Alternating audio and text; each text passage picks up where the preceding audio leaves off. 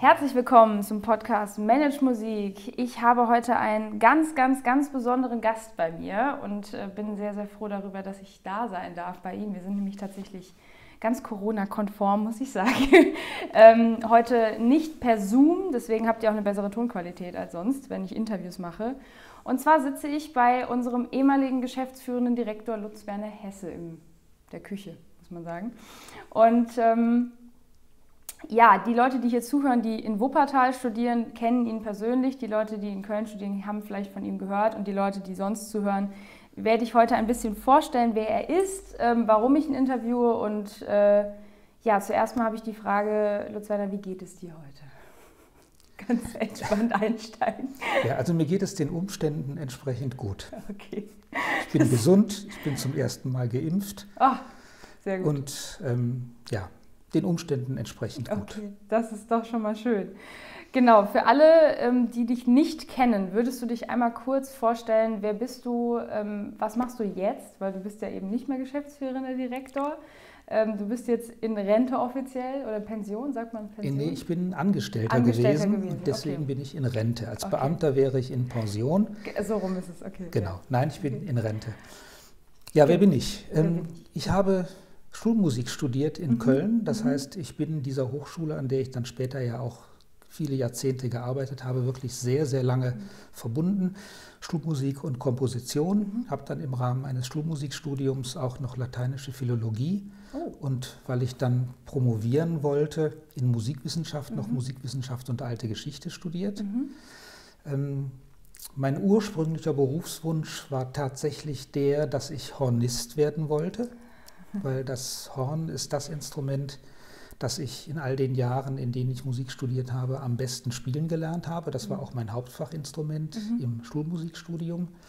Aber im Verlaufe des Studiums stellte sich heraus, dass ich zwar gut war, aber nicht gut genug, um irgendwann in einem Spitzenorchester, wie damals mein Hornlehrer, immerhin Erich Penzel, ein sehr prominenter mhm. Hornist, bei dem ich Unterricht haben durfte, nicht gut genug, um mhm. wirklich in einem Spitzenorchester auf Dauer irgendwo ganz vorne unterzukommen. Und irgendwann stellte er mir dann die Frage, wenn es Ihnen reicht, in einem nicht so guten Orchester am dritten oder vierten Horn zu sitzen, dann sollten Sie das weiter verfolgen. Wenn Sie andere Ziele haben, dann sollten Sie das nicht tun. Und okay. ich habe mich dann entschieden, andere Ziele zu verfolgen.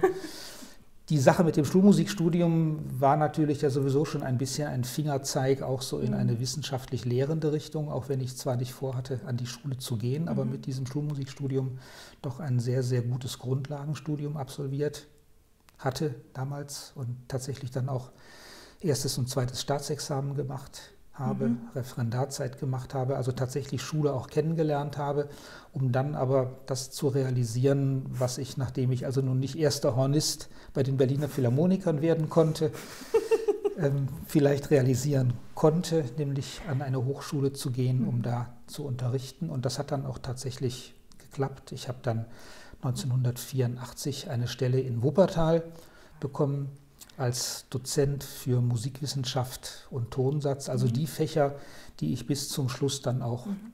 unterrichtet habe. Okay. Wow. 84. ja, das ist eine lange Zeit, die ich dann an dieser Hochschule im Grunde genommen Davor verbracht hast du aber ja schon studiert. Auch. Davor habe ich schon studiert. Ich habe 75 angefangen mit dem Studium. Wow. Und insofern ist das wirklich meine Hochschule. Ja, Ich hatte auch zwischendurch mal natürlich die Fühler an andere Hochschulen mhm. ausgestreckt und mich da beworben. Und mit Bewerbung ist das immer so eine Sache. Manche gehen gut, manche gehen nicht gut. Mhm. Eine ging eigentlich sehr, sehr gut. Da war ich auch tatsächlich auf Platz 1 des Dreiervorschlags. Mhm. Aber da kam mir damals die Gleichstellungsregelung mhm. in die Quere weil da war im Dreiervorschlag dann eine Mitbewerberin und die wurde halt eben dann vorgezogen.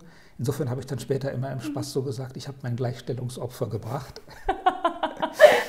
ähm, ja, und bin in Wuppertal geblieben und bin im Nachhinein aber sehr froh, dass ich in Wuppertal geblieben bin, weil es ist eigentlich der Ort, an dem ich mich über viele Jahrzehnte ausgesprochen wohlgefühlt habe, mit Menschen, denen ich mich sehr verbunden gefühlt mhm. habe, deren Qualifikation ich sehr geschätzt habe, deren Empathie ich sehr geschätzt habe und ähm, mhm ja, habe dann auch späteren Versuchen, irgendwie einen anderen Weg einzuschlagen, ähm, dann widerstanden, und habe gesagt, nein, ich bleibe jetzt einfach hier. Hier mhm. ist mein Platz.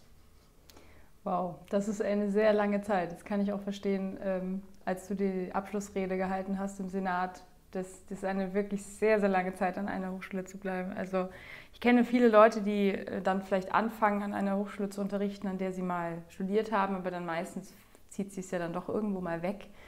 Ähm, ich könnte mir auch momentan, ich weiß es gar nicht, ob ich mir das vorstellen könnte, an der Kölner Hochschule zu arbeiten. Also weiß, man weiß ja nicht, wo es einen hinführt. Aber äh, Wahnsinn. Du bist dann irgendwann ja geschäftsführender Direktor geworden. Das ist ja dann wahrscheinlich später gewesen. Ja, das war im Jahr 2008. Okay. Da ist mein Vorgänger Dieter Kreidler mhm. in den Ruhestand äh, gegangen. Und ich hatte so zehn Jahre vorher, Ende der 90er Jahre, mhm. erstmals mir Gedanken darüber gemacht, ob ich jetzt tatsächlich bis zum mhm. Ende meines Berufslebens mhm. Tonsatz- und Musikwissenschaft ausschließlich unterrichten möchte. Ja. Ich habe ja bis zum Schluss unterrichtet und das auch immer mit großer Freude getan mhm. und muss auch ganz offen bekennen, das habe ich auch an anderer Stelle ja schon mhm. gesagt, dass die großen Momente einer Hochschulkarriere eigentlich die sind, wo man eine richtig gute Unterrichtsstunde hinter sich gebracht hat ja. und es dann zumindest ein paar Studierende gibt, die einen irgendwie glücklich anschauen. Mhm. Das ist besser als jeder Erfolg, den man in irgendeinem Gremium haben kann, ja. weil das ist im Grunde genommen ja die kritischste ja ähm, Masse von Menschen, mit der man zu tun hat. Mhm. Ne? Und diejenige, die man ja halt eben auch bewegen möchte mhm. mit dem, was man tut. Und ähm, also das habe ich ja bis zum Schluss gemacht und sehr, sehr gerne gemacht, aber ich wollte irgendwann nicht mehr ausschließlich das tun, mhm. sondern ich hatte das Bedürfnis, tatsächlich auch ein bisschen gestaltend in der Hochschule ja. tätig zu sein und hatte dann mit meinem Vorgänger Dieter Kreidler überlegt, wie eigentlich der Weg so sein könnte. Mhm. Und wir haben das dann ein bisschen vorbereitet in der Art und Weise, dass ich also Einblicke bekommen habe mhm. in das, was er so tut. Mhm. Und dann ist es irgendwann halt ganz normal über eine Wahl gelaufen. Es ist ja ein Wahlamt. Mhm. Man wird dann gewählt im mhm. Falle eines Standortdirektors für zwei Jahre, mhm. genau wie die Dekane auch. Und das habe ich dann seit 2008 eben jetzt bis zum Eintritt in den Ruhestand gemacht. Wahnsinn, 2008. Okay. Ich, ich, ich, rechne tatsächlich immer so ein bisschen im Kopf, weil ich, ähm, also da war ich ja schon da, weil 1985 war ich schlicht noch nicht mehr auf dieser Welt, aber das ist immer so spannend, wenn man dann als junger Mensch äh, mit Menschen spricht, die irgendwie ihr Berufsleben hinter sich haben und man denkt so krass, 2008 war ich einfach in der achten Klasse oder wenn dann jemand sagt, 1993 habe ich mein Studium begonnen, dann sagt man so, ja, ich bin ein Jahr später auf die Welt gekommen. Also diese Zeiteinteilung, ich bin auch ein großer Geschichtsfan, also jetzt nicht nur im Sinne von alter Geschichte, sondern was war wann, wer war wo wann und manchmal ergeben sich ja dann so ganz spannende Konstellationen. Ähm, jetzt fragen sich vielleicht die einen oder anderen, die hier zuhören, weil ich ja doch sonst immer sehr junge Menschen in meinem Podcast habe, die ich interviewe, also andere Studierende interviewe ich oft. Ich glaube, der älteste bisher war mein Vater den ich interviewt habe, weil auch seine Geschichte fand ich so spannend immer, dass ich gesagt habe, die muss man erzählen aus Studiensicht, weil ich meine, es geht jetzt hier vor allem an Musikstudierende.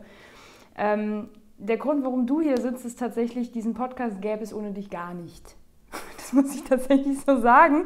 Und das muss man auch, ähm, weil viele wissen das, glaube ich, nicht, dass ähm, man nicht unbedingt an Hochschulen so individual gefördert werden kann, wie das manche können oder wie sie gefördert wurden. Bei mir war das so, weil ich habe natürlich einen tollen Professor, mit brauchen wir gar nicht drüber zu reden, dass Dirk ein sehr individuell Förderer ist, der jeden wirklich an seine Grenzen bringen möchte, aber auch eben weiterbringen möchte. Aber ich kenne tatsächlich nicht so viele Dozenten, die Nebenfächer unterrichten, was Musikwissenschaft und Tonsatz in dem Moment ja ist, die das Potenzial von Studierenden entdecken und sagen, da kann ich vielleicht was tun, da kann ich vielleicht helfen, dass diese Person ein bisschen sich weiterentwickelt, auch nicht nur auf dem Instrument, weil ähm, ich habe tatsächlich äh, jetzt auch die letzten Tage darüber nachgedacht und meinte noch zu meinem Freund, es ist so krass, diese ganze Manage-Musikgeschichte gäbe es überhaupt nicht, ohne die Prämisse, dass du damals gesagt hast, dann mach doch diesen Workshop. Ich gebe dir hier die Möglichkeit, damals waren wir ja noch per Sie, also ich gebe Ihnen hier die Möglichkeit, machen Sie doch diesen Kurs, dann gucken Sie einfach mal, wie das läuft. Und es lief verdammt gut. Und in dieser Zeit, wo ich diesen Workshop zum ersten Mal gehalten habe, sind mir überhaupt erst diese ganzen Ideen gekommen. Also ich, mhm. ich wäre wahrscheinlich gar nicht an den Punkt gekommen zu sagen, ich mache einen Podcast über das Thema. Ich, ich, wette, ich hätte irgendwann einen Podcast gemacht. Ich mache ja jetzt auch einen über Flöte. Aber ähm, diese, genau diese Art von Podcast, dass man sagt, Studierende zu fördern im, in ihrer auch persönlichen Weiterentwicklung, was ja irgendwie unterbewusst passiert ist. Das mache ich ja jetzt mit meinem Podcast auch, dass ich hier Themen anspreche, die vielleicht nicht unbedingt Thema sind in der Hochschule.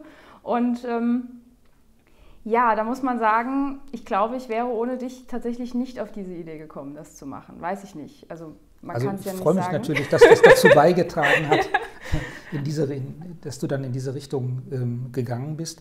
Tatsächlich ist es so, ich meine, das klingt jetzt irgendwie ein bisschen abgegriffen, aber ja. ich bin einfach sehr interessiert an Menschen. Ja. Und wenn ich bei Menschen, in dem Fall jetzt vor allen Dingen bei Studierenden, halt eben spüre, mhm. dass da mehr ist, als dass sie einfach zum Beispiel auch nur eine Veranstaltung bei mir absitzen, mhm. sondern ich merke, da gibt es ein Interesse, das einfach ein tiefergehendes Interesse ist und da ja. gibt es Fähigkeiten, ja. dann finde ich, ist man geradezu verpflichtet, ja. das halt eben auch zu fördern. Und ähm, das hat mir immer sehr, sehr viel Freude bereitet.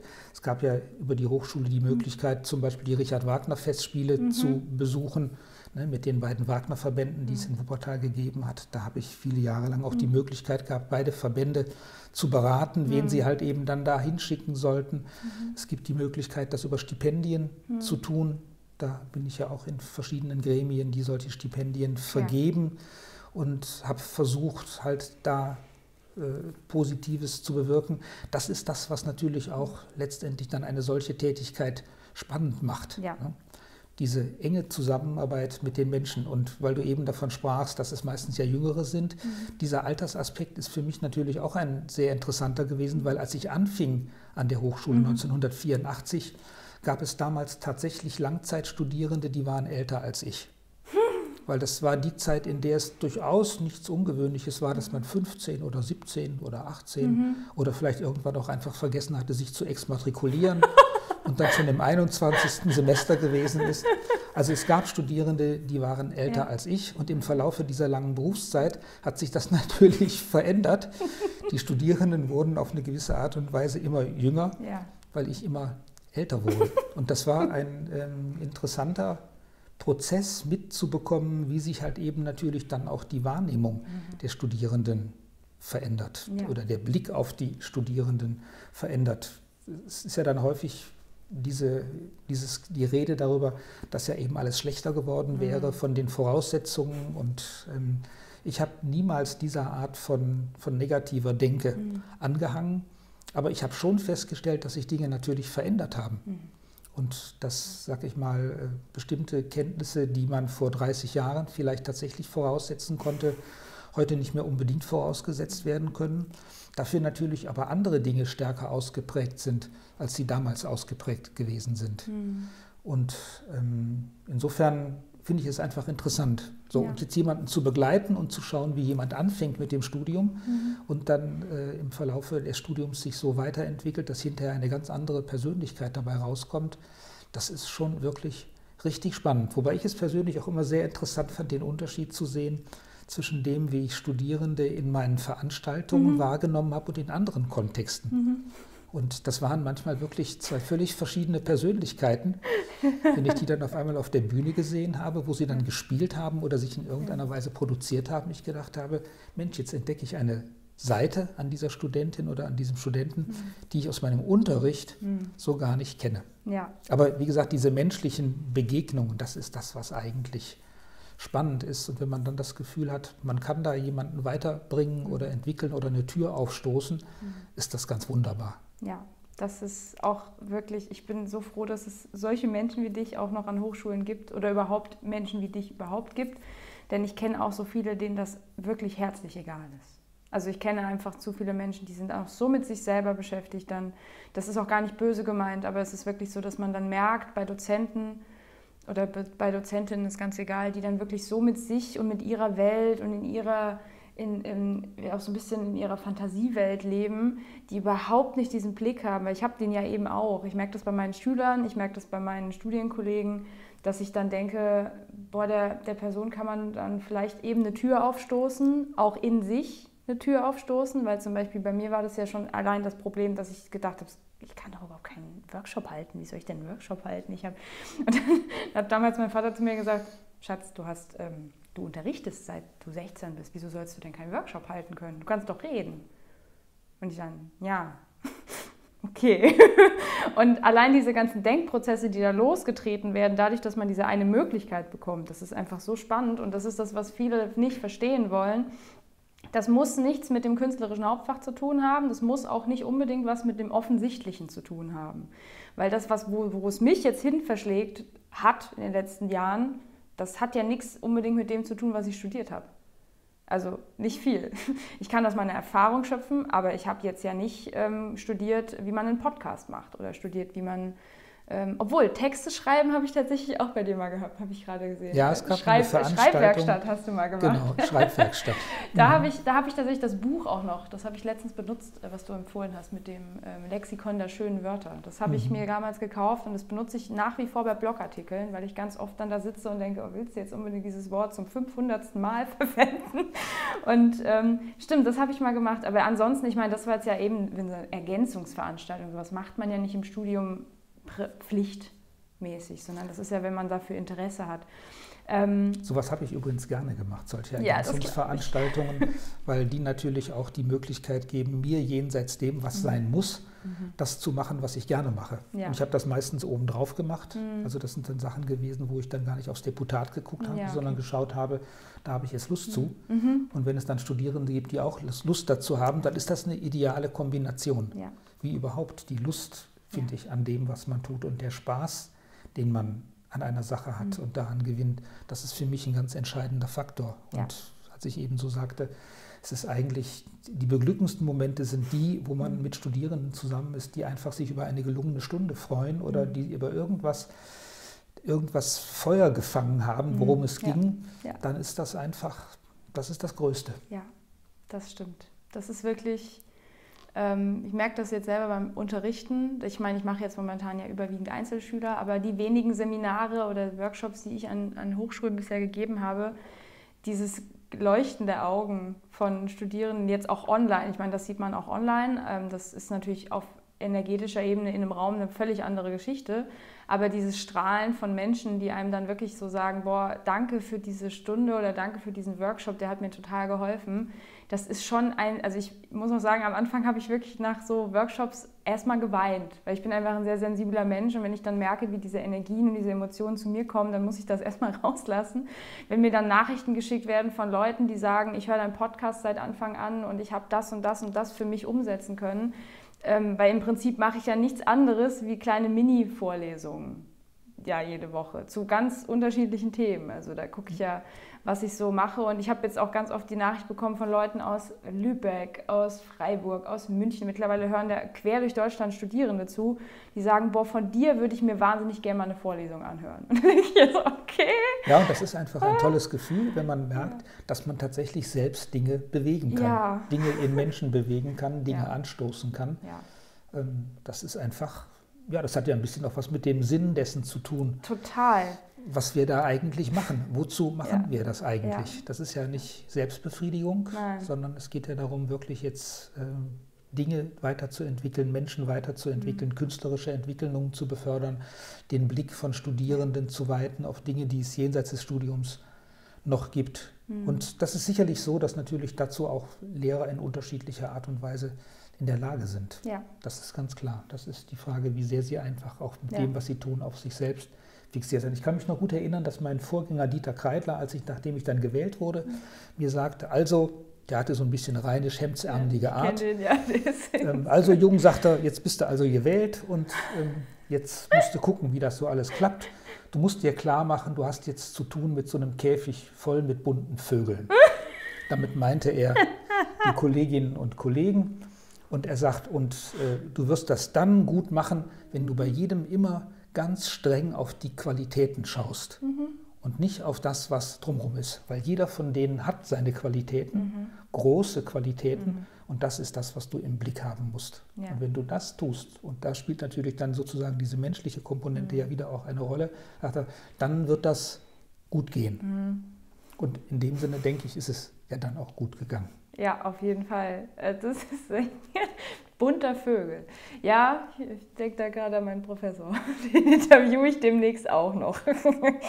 Aber ja, das stimmt. Man darf halt, also ich finde auch, wenn man in so einer Führungsleitungsposition ist, dass man einfach ähm, da sehr auf das Positive von den Menschen gucken muss, die man da und deren Stärken. Also, weil das ist einfach das, was ich ganz oft erlebe, auch in, in Unternehmen, so von Freunden, die halt nicht in der Musikbranche sind, die mir das erzählen, dass sie damit Aufgaben äh, ähm, irgendwie genervt werden, die sie gar nicht so gut machen können und auch nicht so Lust drauf haben und jemand anderes in der Abteilung hätte aber total Lust, das zu machen.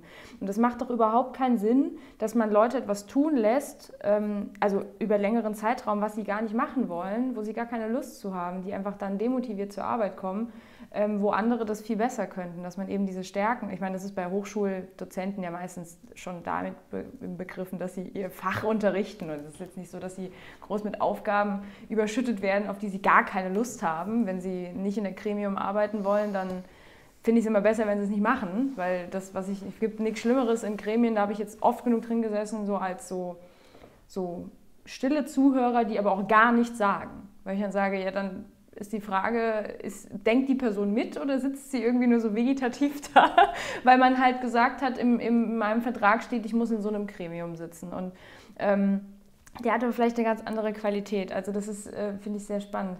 Ich habe eine Frage, ich könnte mir vorstellen, was die Antwort ist, aber hättest du mit Anfang 20 gedacht, dass du mal Rektor werden würdest von einer, oder in dem Fall geschäftsführender Rektor von einer Hochschule?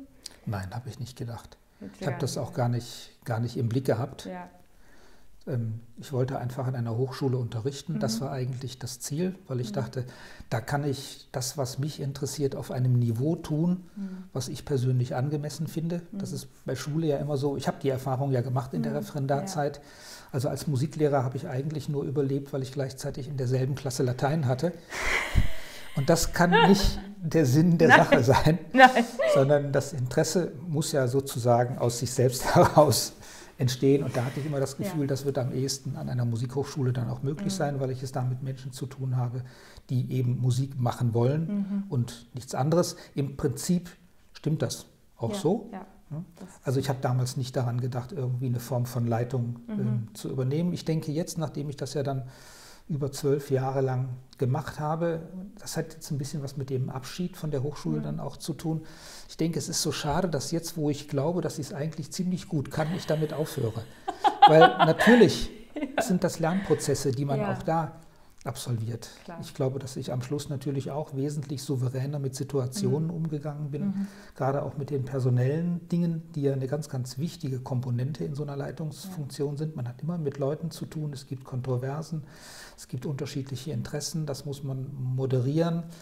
In der eigenen Bewertung der betreffenden Personen muss man ja auch sehr vorsichtig sein, weil mhm. man hat natürlich immer einen bestimmten Blick auf die Dinge. Aber ich meine, wer ein bisschen mit Psychologie zu tun hat, mhm. weiß, dass dieser Blick auf andere Menschen ja häufig sehr stark von Projektionen geprägt ist. Ja. Also warum lehne ich an einer Person eigentlich genau das so sehr ab? Warum mhm. nervt mich genau das so? Und liegt es vielleicht einfach daran, dass das eine Seite ist, mhm. die ich eigentlich wahnsinnig gerne auch hätte, ja. die ich aber selber nicht leben nicht kann? Leben. Ja. Mhm. Also ähm, da muss man ja sehr, sehr, sehr vorsichtig sein. Und da lernt ja. man im Laufe der Jahre einfach sehr, sehr viel dazu. Oder auch, wie man halt eben sich geschickt in bestimmten Situationen verhält, was Kommunikation angeht. Weil das ist an Hochschulen wirklich ein großes Manko bisher gewesen, dass alle die Menschen, die in Leitungsfunktionen kommen, das normalerweise gar nicht gelernt haben. Ja. Die Dekane, die gewählt werden, die geschäftsführenden Direktoren, mhm. die Rektoren oder Dekaninnen, ähm, die haben das nie gelernt. Mhm. Die sind sozusagen in ihrem Fachgebiet mhm. zu Hause und ja. irgendwann werden sie gewählt und dann geht's los. Ja. Und erst in den letzten Jahren fängt an, sich so eine Kultur zu entwickeln, bei der man weiß, das muss man auch irgendwie ein bisschen gelernt haben. Ja. Ja, das ist manchmal an Hochschulen anders, die dann halt eben externe Auswahlverfahren haben, mhm. wo dann Leute kommen, die halt eben auch mit Management zu tun hatten. Aber ja. die HFMT ist ja eine Hochschule, bei der alle Leitungspositionen bisher immer aus dem Lehrkörper mhm. heraus besetzt worden sind. Ergo sind es Menschen, die es alle eigentlich nicht gelernt haben, mhm. sondern es im Verlauf ihrer Amtszeit ja. dann halt eben lernen.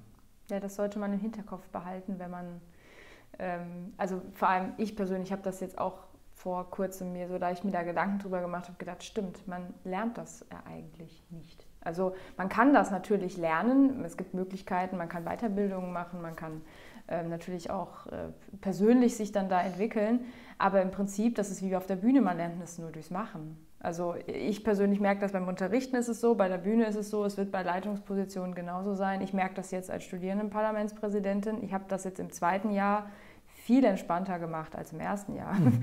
mhm. Das waren jetzt nur zwei Jahre und ja. ähm, wo ich merke, man ist dann im, schon im zweiten Jahr mit vielen Problemen, kann man souveräner umgehen. Man mhm. bekommt nicht direkt irgendwie einen halben Herzinfarkt, wenn man eine E-Mail liest, wo man denkt, oh Gott, was mache ich denn jetzt? Weil natürlich am Anfang weiß man ja erstmal gar nicht, was man zu tun hat. Ja. Und unter Umständen kann man jemanden fragen, aber vielleicht auch nicht, wenn man niemanden mehr hat, den man fragen kann. So, was, ja. was, was und gerade am Anfang ist es schon auch so, dass dann natürlich die Situationen auftauchen, über die man halt eben selbst keine eigene Erfahrung hat mhm. und es da hilfreich ist, wenn man entweder jemanden hat, den man fragen kann oder aber tatsächlich halt für so eine Anfangssituation halt auch einfach ein bisschen einen Plan hat. Da ja. hat sich in den letzten Jahren schon ein bisschen Kultur entwickelt. Es ja. gibt ja das Netzwerk der Musikhochschulen mhm. in Deutschland, die entsprechende ja. Angebote machen auf unterschiedlichen Ebenen, mhm. auch für Lehrende, mhm. wie man halt eben besser unterrichtet, ne, wie man sein eigenes Unterrichten auch mal ein bisschen evaluiert und mhm. hinterfragt. Da gibt es also schon ja, viele Möglichkeiten und da gibt es mittlerweile auch Möglichkeiten, wenn man eine solche Leitungsfunktion anstrebt, sich da entsprechend fortzubilden. Aber das gab es damals halt ja. eben nicht und insofern ist das Learning by mhm. Doing gewesen und ähm, ja, jetzt wo ich es kann. Bist du raus? ja, aber ich kann mir das gut vorstellen, dass man so denkt, okay, jetzt habe ich es raus, jetzt habe ich es verstanden, jetzt weiß ich, wie es geht und jetzt bin ich in Rente. ja, ja, ja. Aber das, ähm, das finde ich auch gar nicht, also es ist natürlich eine Erkenntnis dann, wo wir bei Erkenntnissen sind, weil ich das auch gerne gerade von jemandem wissen möchte, der jetzt schon viele, viele, viele Jahre Studierende unterrichtet hat. Hast du für dich Erkenntnisse gesammelt über Studierende in deiner Zeit als Lehrer? Also du warst ja mal Student, Student ähm, Studenten nehmen ihr Studium anders wahr wie die, die dann Leute unterrichten. Also hattest du Erkenntnisse über Studierende, jetzt nicht im Einzelnen, sondern wie die ihr Studium gestalten. Du hast eben ja schon gesagt, dass sich das verändert hat in den letzten 30 Jahren. Das äh, bin ich sehr sicher, dass auch mit Digitalisierung zu tun hat. Ähm, ich glaube, du hast vor 20 Jahren nicht den Leuten sagen müssen, dass sie ihr Handy ausmachen sollen im Unterricht. Ähm, das war zum Beispiel, du warst der einzige Lehrer, das muss man auch mal sagen, den ich hatte, der das ganz klar kommuniziert hat am Anfang, der gesagt hat, ich möchte bitte, dass sie ihre Handys in der Tasche lassen und das nicht irgendwie zur Normalität wird, dass man das Handy darauf neben seinem, neben seinem äh, Zettel hat, wo man was aufschreibt. Und ich hatte ja davor schon zwei Jahre, zweieinhalb Jahre in Mainz studiert, da hat das keiner gemacht. Und ich kam nach Wuppertal und habe meine erste Musikwissenschaftsvorlesung bei dir gehabt und dachte, Jesus, endlich gibt es mal einen, der das einfach sagt und auch einfordert und ganz klar sagt, nein, ich möchte nicht, dass Sie Ihr Smartphone da liegen haben, während ich Ihnen hier was erzähle. Weil es ja jeder Depp weiß ja, dass es ein Ablenkungsmanöver ist, wenn das da mhm. liegt. Dann klingt da auf einmal eine E-Mail auf und ach, mein Professor hat mir geschrieben. ja, ich meine, wir brauchen nicht darüber zu reden, dass es wahrscheinlich trotzdem genug Leute gab, die dann unterm Tisch irgendwie das Handy hatten. So wie das in der Schule schon mit den Zeitungen war, wo es immer hieß, man soll die Zeitschriften wegpacken und dann hatte trotzdem einer noch so irgendwie die Zeitung unterm Tisch.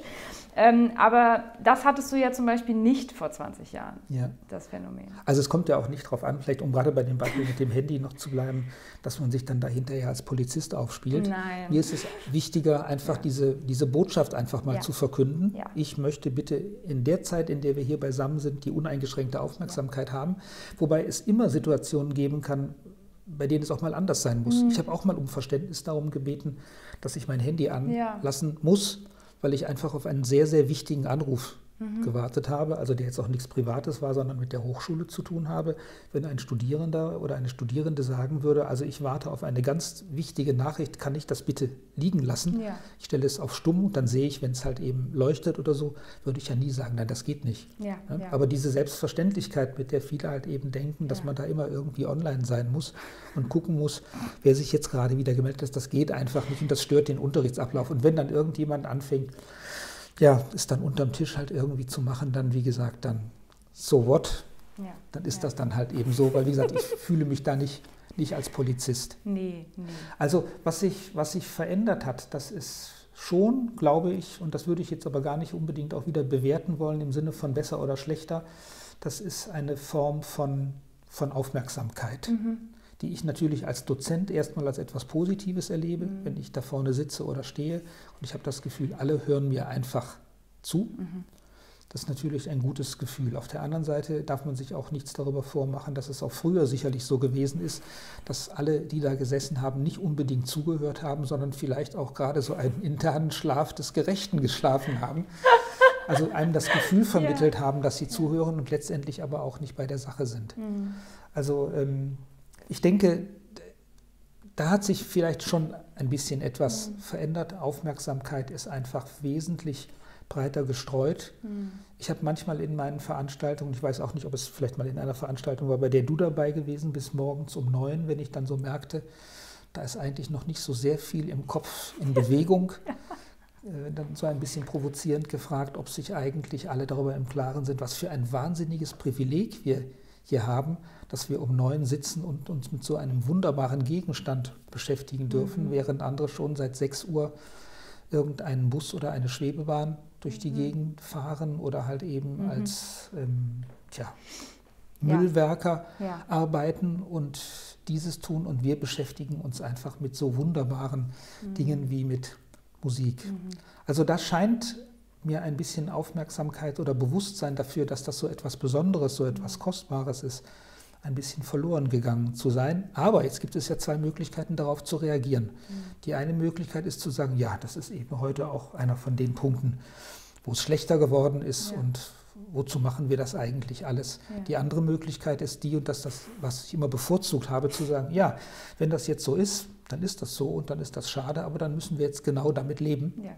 und müssen darauf eingehen und müssen die Leute halt eben da abholen, wo sie abzuholen sind. Ich erinnere mich an Situationen aus Eignungsprüfungen im Bereich Tonsatz, mhm. wo ein Kollege von mir seit Jahren darüber jammert, dass die Studierenden heute wesentlich schlechter vorbereitet sind, mhm. als sie das vor Jahren gewesen sind.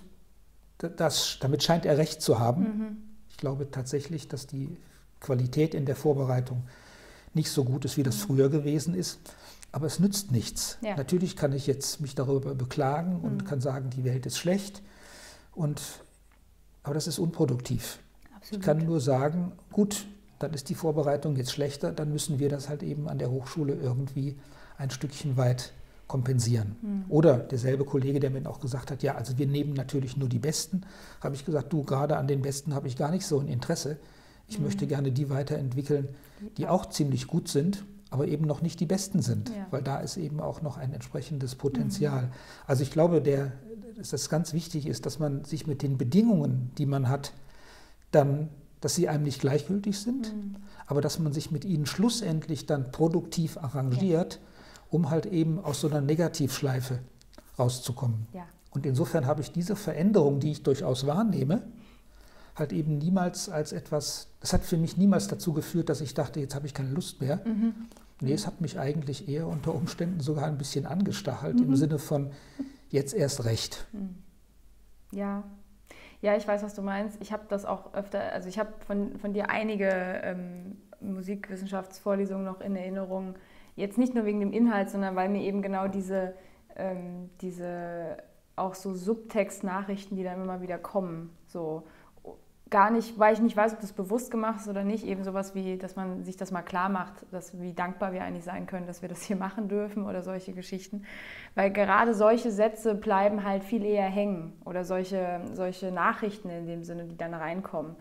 Ähm, weil ich glaube auch, dass dieses leicht Aufmerksamkeitsproblem, was viele haben, das ist jetzt nicht nur mit der Digitalisierung zu erklären, das hat verschiedene Gründe, aber ich meine, diese verschiedenen Möglichkeiten, äh, seine Aufmerksamkeit überall hinzulenken, die gab es halt damals einfach nicht. Ähm, und, und das ist zum Beispiel was, wo ich denke, da gehen aber auch viele unterschiedlich mit um. Ich habe zum Beispiel kein Aufmerksamkeitsproblem, überhaupt nicht. Hatte ich nie. Ähm, ich habe damit kein Problem, in einer Vorlesung zu sitzen und diesem Dozenten, der Dozentin anderthalb Stunden zuzuhören. Und ich verwende diese Medien sehr viel. Also kann man es damit ja schon mal nicht einfach gleichsetzen, sondern ich glaube, dass ähm, ich habe mit vielen Studierenden gesprochen, die zum Beispiel Nebenfächer halt einfach als nicht ähm, äh, wichtig erachtet haben. Also sei das jetzt Musikwissenschaft oder die Theoriefächer.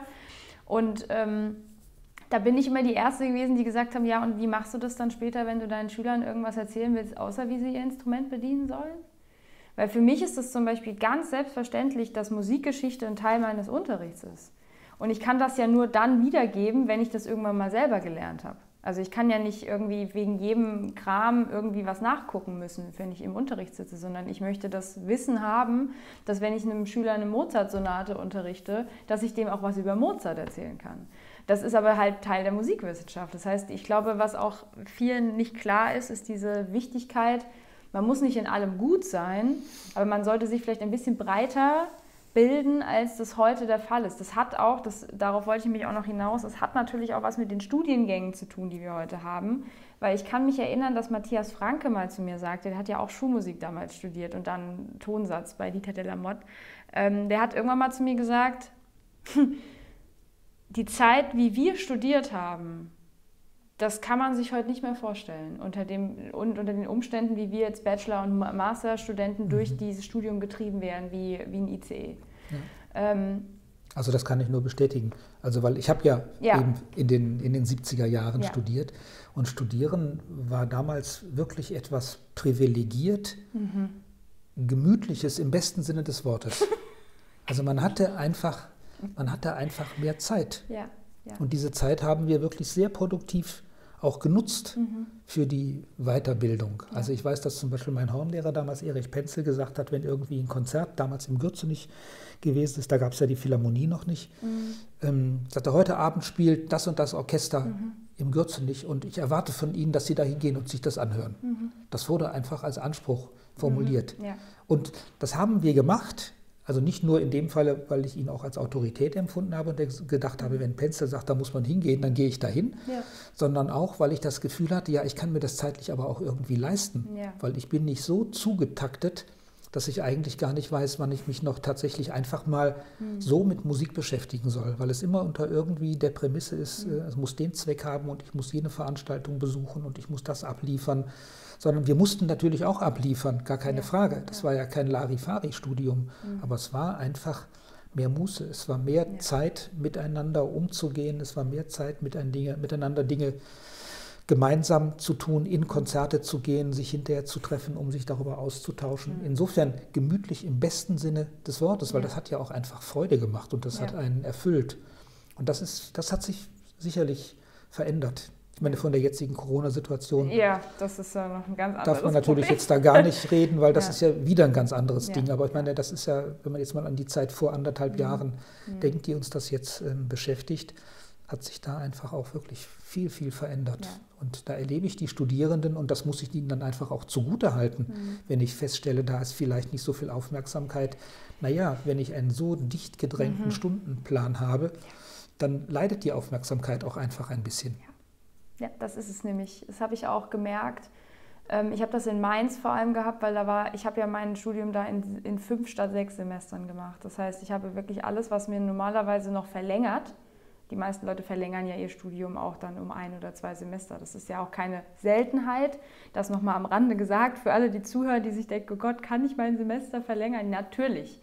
Es machen so viele. Ich kenne, also in meinem Jahrgang allein in Wuppertal haben, glaube ich, 70 Prozent der Leute mindestens ein Semester verlängert. Also die, die mit mir angefangen haben, haben nicht mit mir alle den Bachelor abgeschlossen zu demselben Jahr.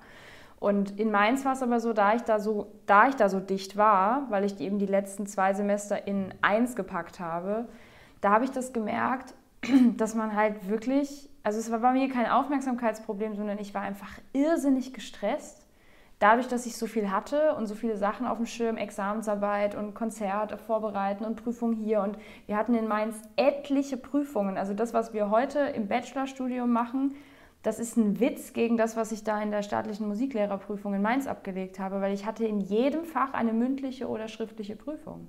Nichts mit, ähm, ich muss eine Hausarbeit abgeben oder ein Referat machen in Musikwissenschaft. Ich musste eine mündliche und schriftliche Musikgeschichtsklausur und dann eben danach noch mündlich geprüft werden. Ich wurde in allen Fächern durchgeprüft. Wenn man auf mein ähm, äh, Zeugnis da auf der Rückseite guckt, sieht man, ich glaube, wie auf so einem Abiturzeugnis elf Noten. Das heißt, man hat überall auch eine Bewertung bekommen, nicht irgendwie bestanden, nicht bestanden. Ähm, und das allein diesen Vergleich zu haben, als ich dann von, diesem, von dieser staatlichen Musiklehrerprüfung ins Bachelorstudium gewechselt bin, weil man dachte, okay, ich hatte halt schon sehr viel gemacht, deswegen war mein Bachelorstudium sehr entspannt. Aber das von den anderen, die dann noch Profil, Pädagogik zum Beispiel dazu belegt haben, das ist Irrsinn, was die dann in einem ähm, Jahr zum Teil an, an Kursen belegen müssen. Dann Studienleistung hier und dann jenes und dann noch eine Exkursion und dann machen wir noch das. Und dann fehlt die Zeit, um sich, wie du das gerade sagtest, in Ruhe weiterzubilden. Dass man so zum Beispiel auch seine Interessen vielleicht mehr rausbekommt und merkt, okay, ich bin vielleicht jetzt nicht so der Musikwissenschaftstyp. Ich habe ja auch drei Semester Musikwissenschaft studiert, das wissen viele gar nicht, in Mainz an der Universität und habe gemerkt, das ist gar nicht mein Ding. Also das Thema schon, aber die Arbeit, die Musikwissenschaftler später machen, das ist überhaupt nicht mein Ding. Da habe ich dann einfach mich wieder exmatrikuliert und gesagt, nee, also bei aller Liebe, aber irgendwie sich 20 Seiten darüber ähm, auszulassen, ob die Analyse jetzt von dem oder von dem besser ist. Also es war bei mir wirklich, ich hatte auch so ganz seltsame Dozenten zum Teil. Ich dachte, Gott, nein. Ähm, und dann kam ich in deinen Musikwissenschaftsunterricht und das war eine völlig andere Nummer, wo ich immer dachte, und jetzt sind wir natürlich nicht Musikwissenschaftsstudenten gewesen, sondern künstlerisch und pädagogische Studierende. Aber ähm, ich kann mir das sehr gut vorstellen, dass dieses keine Zeit zu haben, weswegen ich diesen Podcast ja mache, weil die Leute keine Zeit mehr haben, die fühlen sich gedrängt und getreten durch das Studium und dann muss man irgendwie, und in acht Semestern musst du dann deinen Bachelor abschließen. Und dann gibt es Leute, die erzählen mir, sie haben damals 17 Semester einen Studiengang studiert. Und dann sage ich, wie jetzt? 17 Semester? Ja, das war das, was ich am Anfang sagte, ne? als ich an die Hochschule kam. da waren normal. Menschen, die waren einfach älter als ich. Krass, ja. Weil die hatten halt eben einfach ewig studiert. Ja, ja, ja und ja. das war aber auch kein Problem zu dem Zeitpunkt. Da gab es einfach keine Regelstudienzeit. Da hat man das, und das hat auch, das fand ich auch so spannend, das hat Matthias mir auch irgendwann gesagt. Er war in Psychologievorlesungen, in Religion, Theologievorlesungen. Mhm. Die hat er gar nicht, er hat ja gar nicht studiert, diese Fächer. Also als Hauptfach. Ja, das, was man als Studium Generale genau. bezeichnet. Ne? Genau. Das hatte damals einfach noch einen anderen Stellenwert. Ja. Und als man damals umgestellt hat von den Diplomstudiengängen auf die Bachelorstudiengänge, hat man gedacht, man müsste jetzt irgendwie alles besser machen. Und ja. das besser machen bedeutet halt eben von allem irgendwie mhm. mehr machen. Ja. Und das kann nicht funktionieren. Also deswegen habe ich auch irgendwann angefangen, ähm, inhaltlich meine Veranstaltungen ein bisschen umzubauen. Mhm.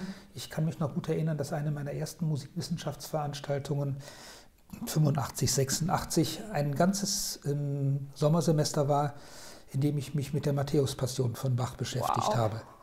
Ein sehr ambitioniertes, hochspannendes Aha. Thema. Ja. Natürlich, ähm, diese Veranstaltung hätte ich aber jetzt in der Gegenwart nicht mehr gemacht, ja. weil ähm, mir einfach klar geworden ist, dass es keinen Sinn hat, so sehr ja. in dem Punkt in die Tiefe, ins Detail zu gehen, sondern es einfach viel, viel wichtiger ist, Überblicke zu mhm. geben, damit man Dinge einordnen kann und Zusammenhänge mhm. herstellen kann. Und so ja. faszinierend das sein mag, jetzt wirklich ein Stück mal wirklich mhm. ganz von innen zu betrachten, und das ist natürlich faszinierend, mhm. sich so richtig reinzubohren mhm. in ja, ein solches absolut. Werk und in einen solchen Komponisten, ähm, ist das unter den Bedingungen, die wir gegenwärtig haben, sicherlich nicht sinnvoll.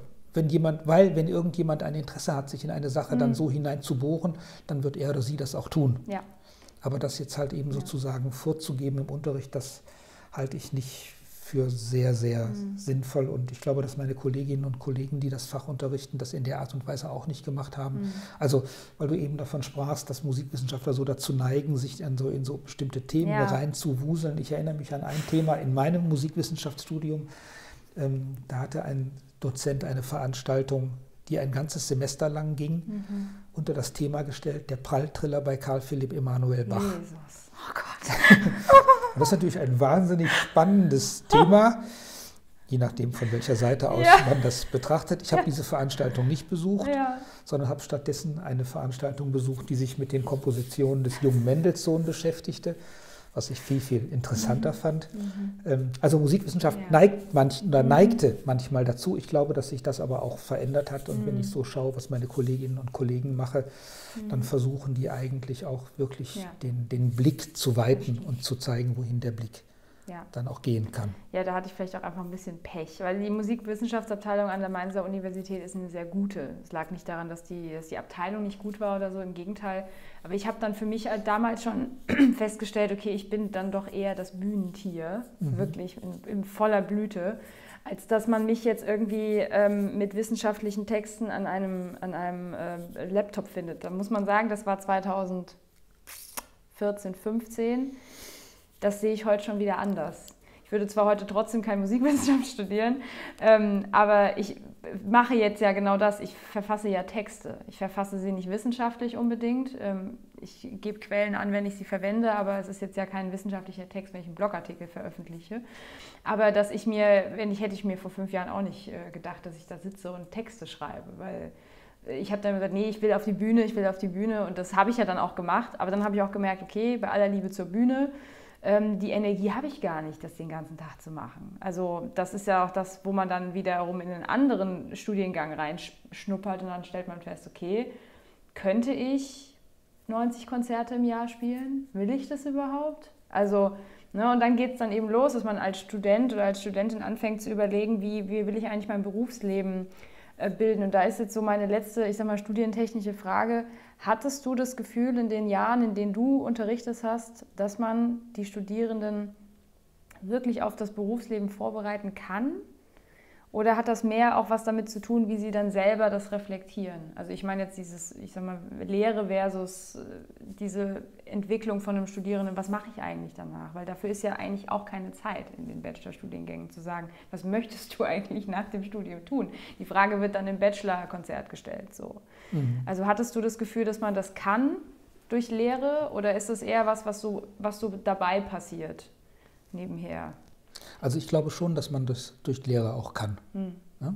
Und zwar ist es ja so, dass Musikhochschulen bis vor einigen Jahren sicherlich eher davon entfernt gewesen sind, Studierende sehr praxisorientiert auf ihr mhm. Studium vorzubereiten. Es gibt auch bis heute Kolleginnen und Kollegen, die den Wert dessen ein bisschen zumindest relativieren, mhm. weil sie sagen, ähm, also unser Gegenstand Musik, diese Ausbildung mhm. auf einem ganz, ganz hohen Niveau ist etwas so Komplexes, ja. dass wir es uns eigentlich nicht leisten können, die wenige Zeit, die wir haben, zum Beispiel im Bachelorstudium, und das ja immerhin schon acht Semester ist gegenüber ja. den Bachelorstudiengängen an den Universitäten. Wir mhm. haben ja schon acht Semester, mhm. aber die Zeit ist eigentlich zu kostbar, mhm. als dass wir sie für etwas anders verschwenden können, in mhm. Anführungszeichen, als das, was ureigentlich mit dem Medium Musik zu tun hat. Ich denke da ein bisschen anders. Mhm. Ich glaube schon, dass es Möglichkeiten gibt, Studierende halt auch im Verlauf ihres Studiums schon auf ihre Berufswirklichkeit vorzubereiten. Ja. Das war bis vor etlichen Jahren, muss man aber auch sagen, an Musikhochschulen überhaupt gar kein Thema. Mhm. Und es ist im Verlauf der letzten fünf Jahre verstärkt ja. eigentlich erst aufgekommen, ausgelöst durch einen Prozess, der in den 2010er Jahren begann. Mhm als man auf einmal anfing, ein bisschen die Sinnfrage nach mhm. den Musikhochschulen zu stellen. Mhm. Das war so in den Jahren 2013, 14, 15, 16. Mhm. Da ging es ja um die Frage gerade in Baden-Württemberg, ob Musikhochschulen geschlossen werden sollen. Mhm. Also Trossingen war ja, ja, damals sehr stark ähm, in der, äh, im Gerede. Karlsruhe war im mhm. Gerede, auch über Mannheim wurde gesprochen. Mhm. Ähm, sind das Hochschulen, die tatsächlich alle bestehen bleiben sollen? Und mhm. ich glaube, dass diese Frage, ob alle Musikhochschulen in Deutschland auf Dauer bestehen bleiben ja. werden, auch noch nicht zu Ende diskutiert ist. Auf jeden Fall in dem Kontext, an dessen Ende dieses Prozesses ja stand, dass diese Musikhochschulen tatsächlich erhalten geblieben sind, dass mhm. sie nicht geschlossen wurden, stand die Erkenntnis, wir müssen aber in Zukunft auf der einen Seite uns versuchen, ein bisschen stärker zu spezialisieren, ja. dass nicht alle halt eben alles machen und wir müssen einfach darauf Rücksicht nehmen, dass Studierende in Zukunft äh, in Bereichen tätig sein werden, die nicht mehr so eindeutig vorgegeben sind, wie das in der Vergangenheit für viele selbstverständlich der Fall gewesen ist. Ja, ja. Und ähm, da hat schon ein Umdenkensprozess angefangen, der immer noch im Gange ist, der alle Hochschulen in Deutschland in unterschiedlicher Weise auf die Spur gebracht hat, sich mit der Frage zu beschäftigen, was kann man halt über das Musikstudium im engsten Sinne hinaus eigentlich ja. tun, um die Studierenden hinterher fit zu machen. Mhm. Und ich glaube, dass der Standort Wuppertal in der Diskussion innerhalb der HFMT Köln auch durchaus etwas, etwas Produktives für die ganze Hochschule ja. gebracht hat, weil wir dann irgendwann gesagt haben, das ist doch so ein Ding, was wir uns eigentlich mhm. auf die Fahne schreiben könnten. Mhm. Wir hatten immer schon sehr stark diesen Praxisbezug. Und ich weiß, als wir das zum ersten Mal im Senat vorgestellt haben, als ein Profil für den Standort Wuppertal, eine Kölner Kollegin sagte, sagte, das finde ich toll, das möchte ich für uns in Köln auch haben. Und ich damals gesagt habe, ja, das verstehe ich gut. Ähm, es ist auch was wahnsinnig Richtiges ja. und was Wahnsinniges ja. Wichtiges. Ja. Und äh, insofern denke ich schon, ist da, hat einfach ein Umdenken stattgefunden. Mhm. Es wird mehr als selbstverständlich akzeptiert, dass man sich breiter umtun mhm. muss, dass man sich nicht einfach nur in dieser kleinen engen Blase bewegen darf. Aber die Frage, wie weit das gehen darf, weil es natürlich Zeit kostet in diesem ohnehin eng begrenzten Bachelor-Stundenkontingent, die Frage ist berechtigt. Ja. Die darf man nicht, die darf man nicht, ähm, nicht gering schätzen. Nee. nee, vor allem ist es ja eh schon so eng getaktet. Das ist es ja. ja. Also wenn man sich die Studienverlaufspläne gerade von EMP und IP und Schulmusik anguckt, also in den pädagogischen Bereichen, da wird es mir immer übel. Also weil ich eben ganz oft jetzt die Rückmeldung von Studierenden bekomme, die mir sagen, sie sind in solchen Studiengängen ja. und würden sich aber gerne ein bisschen mehr Zeit für ihr künstlerisches Hauptfach nehmen, was mhm. ich also gerade als IPlerin absolut unterstreichen muss, weil ja. ich sage, wenn ich irgendwann, ich sitze jetzt ja auch als Klavierinstrumentalpädagogin noch hier, die noch im Studium ist, und dann kommen Schüler um die Ecke und wollen La Campanella von Liszt lernen. So, da sitze ich als Studentin mit sehr kleinen Händen da und sage, okay, ich kann das Stück selber nicht spielen, dann muss ich aber wenigstens das Know-how bekommen, wie kann ich das vermitteln, wenn ich selber nicht unbedingt kann oder wie kann ich mir sowas schnell drauf schaffen. Mhm. Weil natürlich können wir, das wissen wir alle als Pädagogen, nicht alles lernen im Studium, was später unterrichtet wird an Musikschulen. Ähm, aber das kann einem passieren. Also es ist nicht so, dass man an die Musikschule geht und dann nur Hänschen klein spielen muss. Mhm. Das heißt, ähm, die, die Forderung von Pädagogen zum Beispiel, die sagen, sie möchten in ihrem Studium ein bisschen mehr Zeit für ihr Hauptfach haben, um sich selber weiterzuentwickeln, die ist ja auch schon mal berechtigt. Ja, also ja. bei diesem sogenannten Workload hat man ja. damals, als die ähm, Bachelorstudiengänge mhm. eingerichtet wurden, hat man das Üben eigentlich, haben viele gesagt, schlichtweg vergessen. Ja, total. Hat dann festgestellt, ja. Moment, da muss ja auch noch Zeit zum Üben sein. Wann können wir die denn noch irgendwie einbauen? Das ist dann zwischen 22 und 24 Uhr oder so und das ist dann, sind dann zwei Stunden, die eigentlich ein bisschen zu wenig sind. Also das ist ein, ein, ein großes Problem und deswegen kommt gerade aus der Ecke der Hauptfachlehrerinnen und Hauptfachlehrer natürlich immer wieder dieses Argument überfrachtet, das jetzt nicht zu sehr auch noch mit Dingen, mhm. die jetzt eigentlich gar nicht ureigentlich mit der Musik zu tun haben, ja. weil mhm. das Hauptfach kommt ja schon eigentlich zu kurz. Das ja. heißt, alles das, was man jetzt in dem Bereich macht, muss natürlich woanders eingespart werden. Mhm. Das führt dazu, dass dann die Kolleginnen und Kollegen aus den anderen Fachrichtungen protestieren mhm. und sagen, Moment, wie viel wollt ihr denn hier irgendwie noch einsparen? Also wenn ich an meinen eigenen Bereich denke, ähm, Musikwissenschaft ähm, war im Bachelor, im, im Diplomstudiengang stundenmäßig viel, viel besser ausgestattet, mhm. als das jetzt der Fall ist. Mhm. Also das waren zehn Semester Wochenstunden im Verlauf des Studiums. Wow.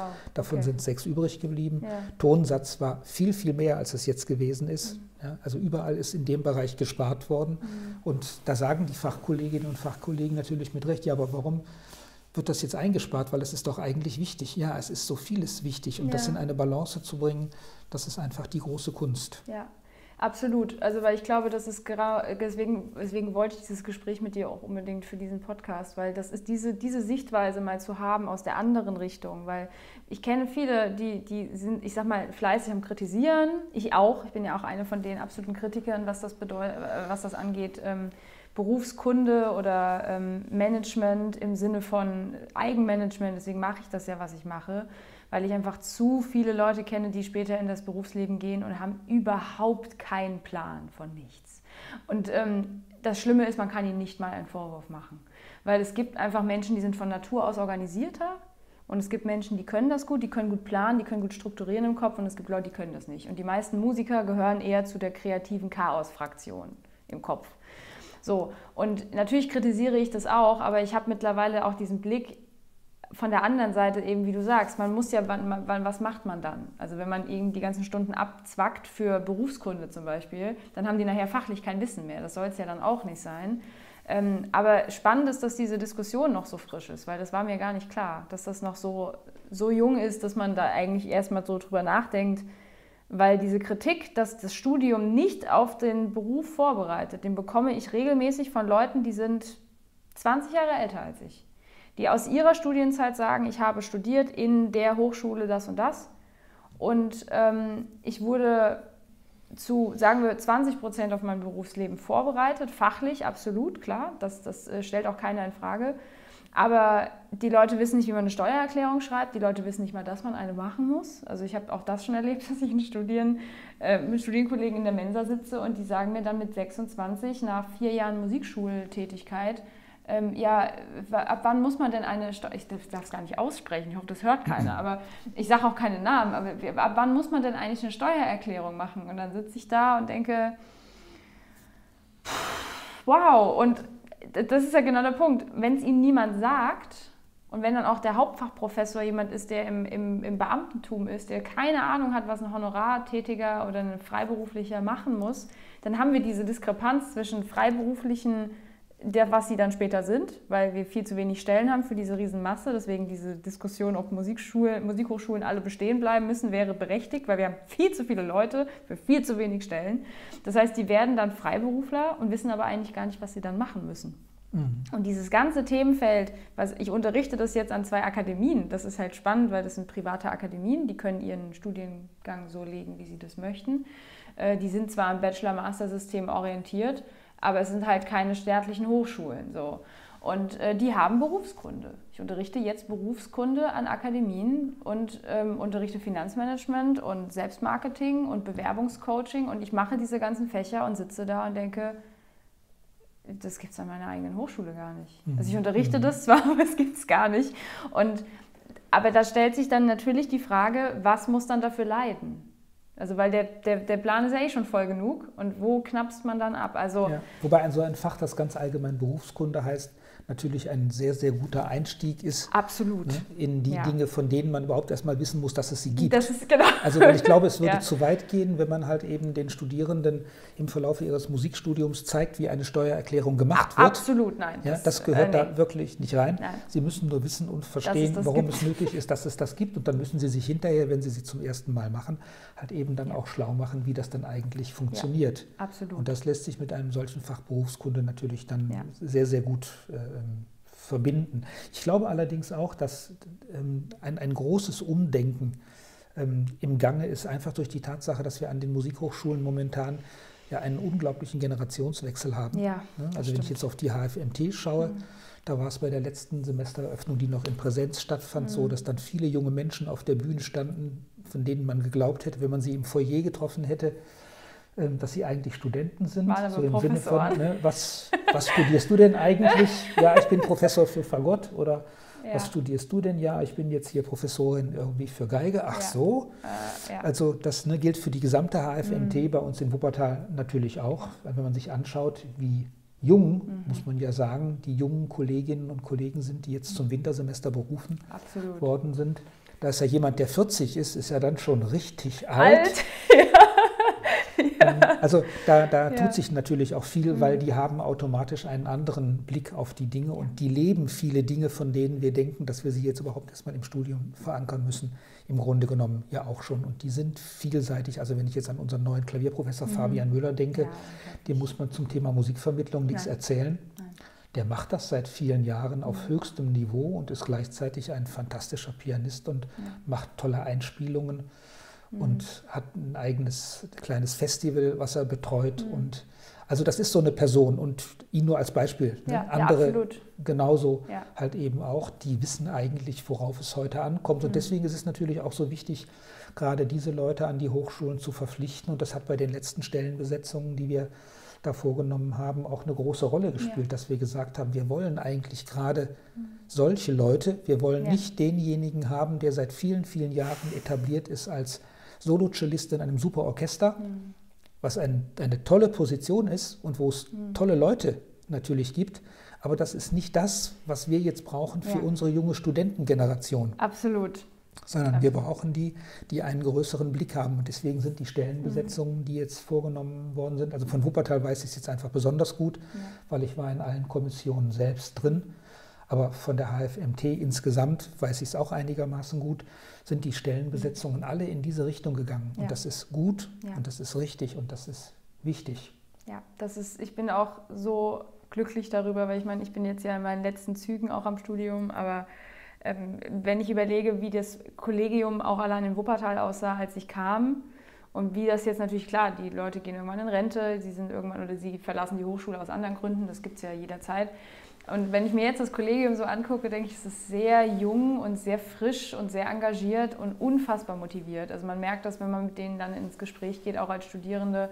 Ähm, in meinem Fall, die sind nur vier, fünf Jahre älter als ich. Mhm. Also ich bin jetzt ja keine Anfang 20-Jährige mehr, die jetzt im Studium anfängt, ich werde am Samstag 27.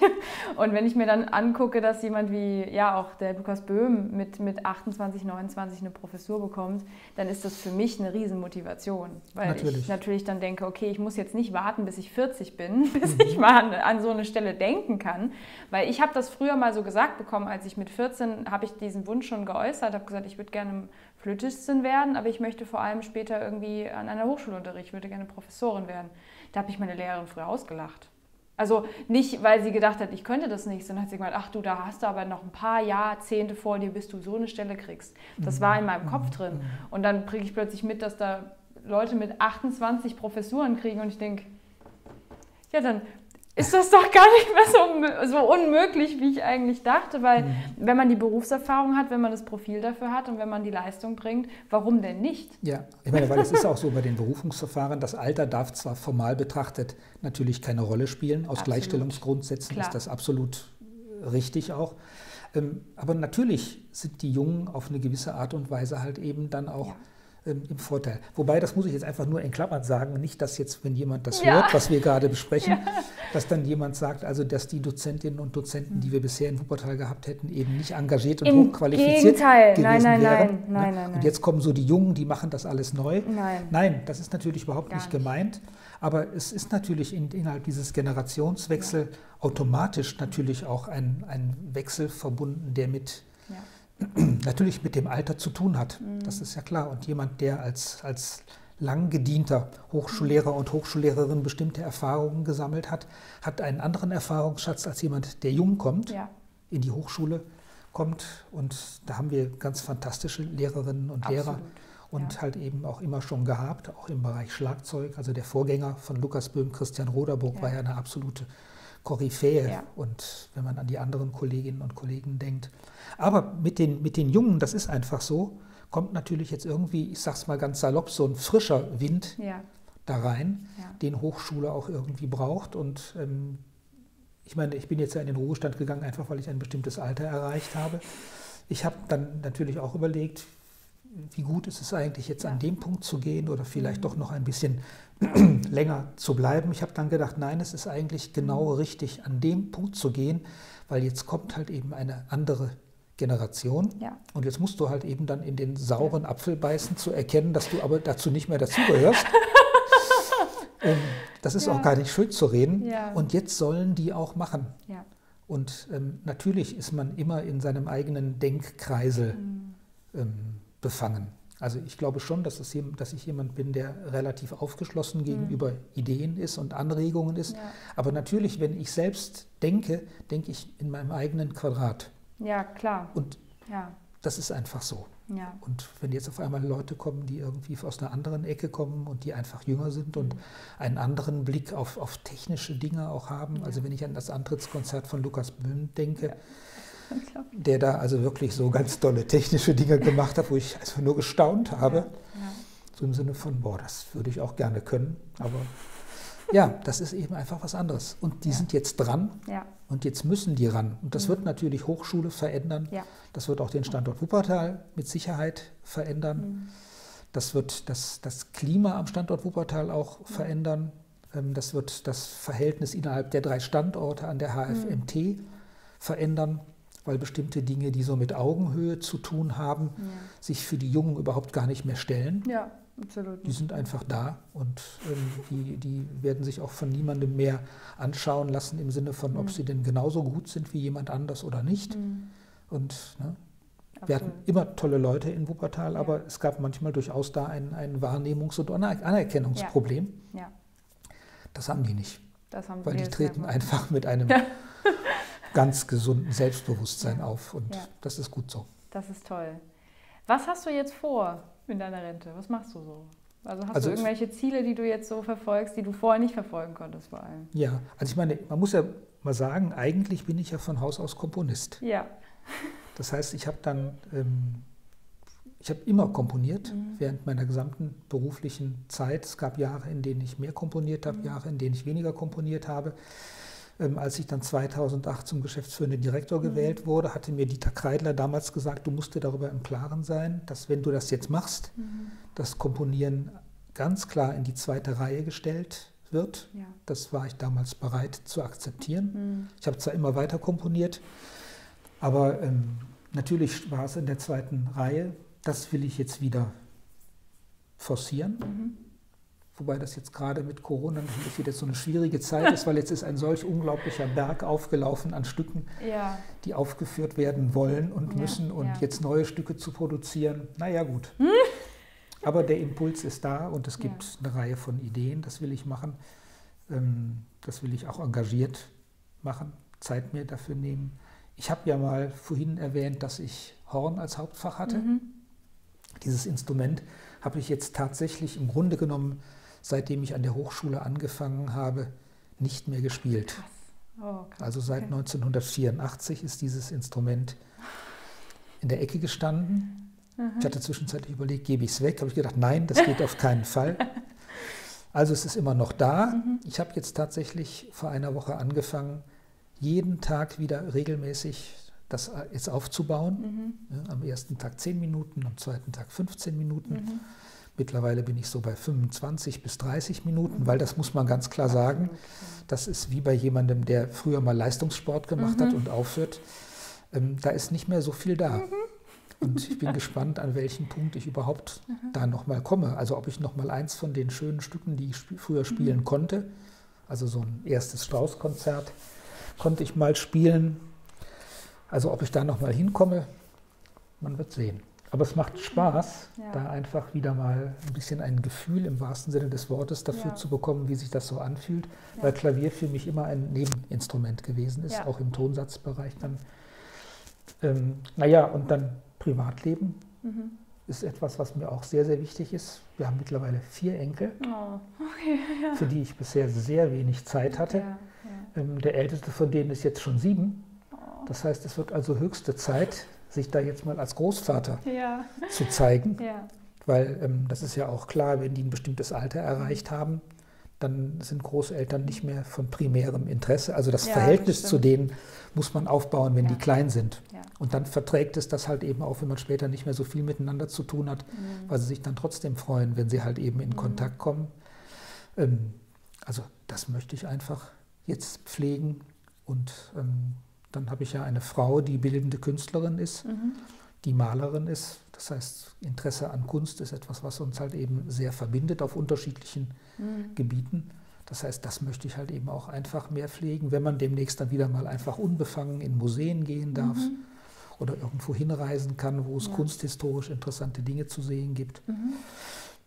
Ja, das ist eigentlich so das, was ich vorhabe. Von Hochschule habe ich mich tatsächlich ziemlich konsequent verabschiedet. Ja. Ich habe gesagt, Leute, wenn es in der Übergangsphase Situationen gibt, wo ihr mhm. mich braucht, meldet euch. Mhm. Aber ich werde mit Sicherheit von mir aus nicht auflaufen, Nein. um meinen Senf dazuzugeben. das hätte ich auch nicht gedacht bei dir, dass du, das dass ist, du Ich finde so das dann konsequent, dann auch, man ja. muss dann auch wirklich, wirklich ja. gehen. Ja. Ähm, das Einzige, was ich weitermachen werde, ist, dass ich mich um den Wuppertaler Musiksommer mhm. kümmere. Das heißt, dieses ähm, mhm. Meisterkursformat mhm. weiter betreuen. Da haben die Kolleginnen und Kollegen auch gesagt, dass sie dankbar sind, wenn ich das tue, ja. weil es im Moment niemanden in der Hochschule gibt, der das jetzt auch zusätzlich übernehmen könnte. Mhm. Und dann würde ich, weil ich ja diese Affinität zur bildenden Kunst habe, auch da haben alle gesagt, dass sie das schön finden, wenn ich das weitermache, mich darum kümmern, dass auf der zweiten Etage in der Hochschule ja. immer schöne Bilder hängen. Ja. Das heißt, da wird es auch zum Wintersemester wieder eine neue Ausstellung mhm. dann auch geben. Aber ja. das sind die einzigen Dinge, wo ich jetzt eben auch nicht mehr lehrender oder leitenderweise verbunden bin, sondern quasi so freiberuflich mhm, so nebenher noch ein bisschen was mache. Hier und da mal ein bisschen äh, die Fingerchen reinhalten. Ja, das, ähm, das klingt sehr schön. Also ich, ich stehe ja jetzt quasi vor meinem Berufsleben. Es ist immer spannend, mit Leuten zu sprechen, die das hinter sich haben und jetzt sagen, ich habe jetzt meine Rente vor mir und bin jetzt ganz frei in dem, was ich tun kann. Meine letzte Frage für heute, einfach auch, weil du ähm, Musikwissenschaftler bist, aber auch, ich glaube, generell Musik interessiert. Welches Werk hast du zuletzt bewusst gehört? Mhm. Das kann ich ganz präzise beantworten, weil das war gestern, okay. als ich meine tägliche Bewegungseinheit, wie ich das immer nenne, gemacht habe, äh, die daran besteht, dass ich dann von hier aus einfach irgendwie losgehe, mhm. nicht jogge, aber dann mhm. einfach schnell und zügig gehe. Das war der zweite Satz aus dem Violinkonzert von Edward Elgar. Schön. Den ich mir bei meinem Weg mhm. in verschiedenen Aufnahmen mhm. angehört habe, weil ich mal so ein bisschen vergleichen wollte. Mhm. Cool. Das ist äh, ein kleiner muss ich nebenbei für alle sagen, die äh, jetzt bei Lutz Werner Hesse noch nie Musikwissenschaft hatten, weil sie auch nicht in Wuppertal studiert haben. Ich habe jedes Werk, was du empfohlen hast, mir irgendwann immer angehört. Also ich habe also eine sehr lange Liste dann gehabt, weil du ganz oft auch mal zwischendurch gesagt hast, das müssen sie sich irgendwann mal anhören, wenn sie Zeit haben.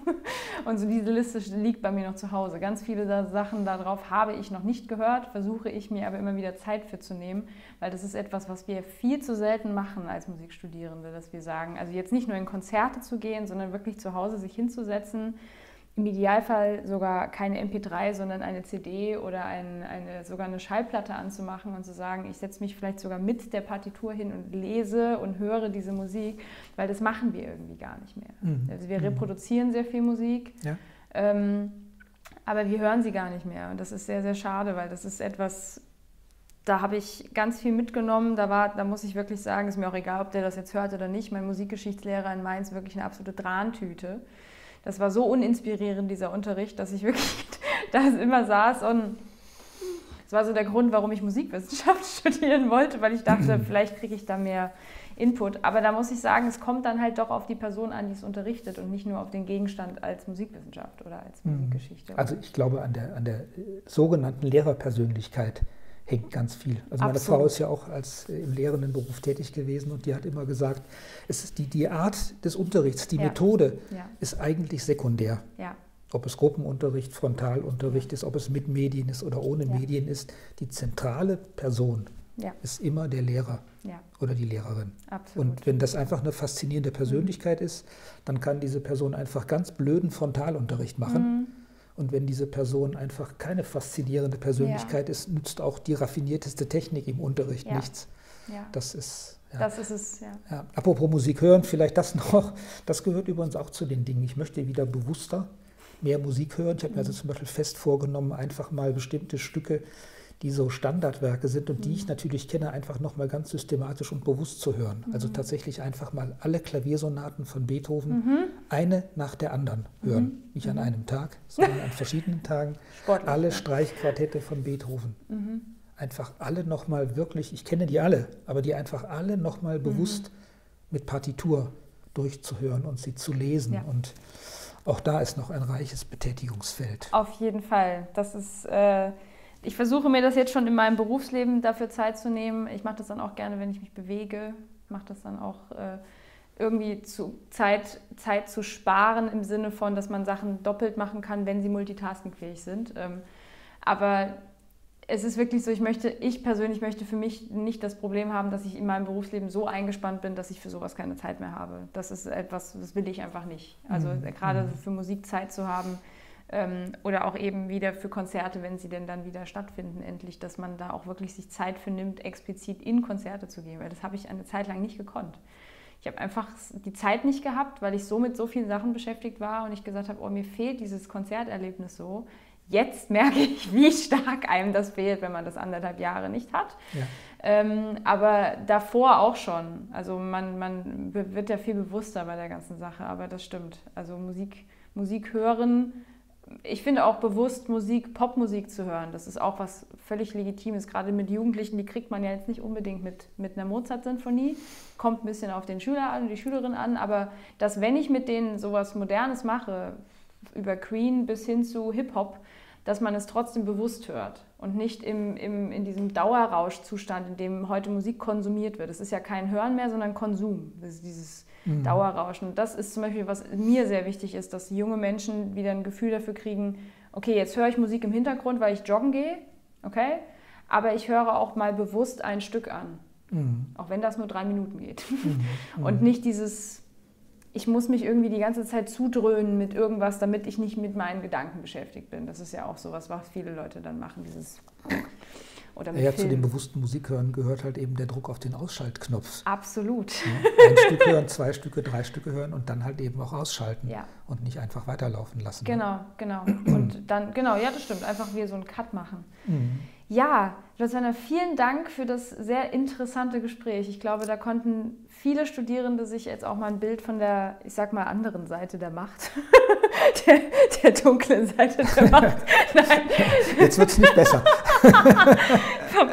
Nein, um Gottes Willen. Nein, von der anderen Seite wirklich zu, zu, zu hören, wie ist das eben in dieser Position zu sein, was bekommt man da so mit, das ist einfach, da, da muss man in den Austausch gehen. Ja, also weil die ja. Seite, auf der man sich da befindet, weil es sind ja unterschiedliche Seiten, natürlich ja. schon noch etwas mit der Sichtweise zu tun hat. Absolut, ja. Also, ne? also als Arbeit, als, als jemand, der, der, der praktisch dann, also, also Leute also der so eine Institution halt eben leitet oder, oder versucht, die Menschen miteinander äh, in Kontakt zu bringen und zu halten, ist diese andere Sichtweise natürlich einfach gegeben. Ja. Sie ist einfach, einfach da. Ja, und das ist vollkommen okay. Aber mhm. ich finde, wie gesagt, deswegen war, glaube ich, auch unser Austausch, als ich noch in der Studierendenvertretung war, da so lukrativ und produktiv, dass wir uns eben ausgetauscht haben. Es war kein, ähm, ich lade meine, meine Beschwerden bei dir ab, als Studierendenvertreterin und gehe dann wieder, sondern es war wirklich mal ein Austausch und ich habe dann die, ich sag mal, die Probleme verstanden, die Sachen, die dann auftreten, wenn man bestimmte Dinge entscheidet oder Dinge nicht entscheidet. Und ich finde diesen Austausch so wichtig, dass wenn man eben auch als Studierende, egal wer da jetzt noch zuhört, auch an anderen Hochschulen, dass man sich da, dass man keine Angst hat, mit den Leuten, die Dekan sind, Dekanin sind, die Leitungsfunktionen haben oder auch mit der Professorin von irgendeinem Nebenfach, ähm, dass man mit denen spricht also, dass man diesen Austausch hat, dass man diese Sichtweisen austauscht, weil sonst kann ich ja nicht wissen, wie der andere denkt. Mhm, mhm. ich kann ja niemandem in den Kopf reingucken. Ja, da sind Menschen natürlich auch unterschiedlich ne, mhm. gepolt. Ich kommuniziere gerne. Ja, ich auch. also, das macht mir ausgesprochen ja. Spaß. Ja. Und ähm, insofern danke ich für die Einladung zu dem Gespräch. Sehr gerne. Es war mir ein großes Vergnügen. Mir auch. Ich wünsche euch allen, die jetzt zuhören und ähm, diesen morgendlichen, dieses morgendliche Interview, wenn ihr es morgens hört, gehört habt, einen wundervollen Tag. Ansonsten natürlich eine schöne Woche. Wir hören uns nächsten Montag wieder mit einer Solo-Folge und ähm, ja, vielen Dank, Jens Werner, für das Interview. Danke ebenso. Und Alles Gute. Bis nächste Woche. Ciao, ciao.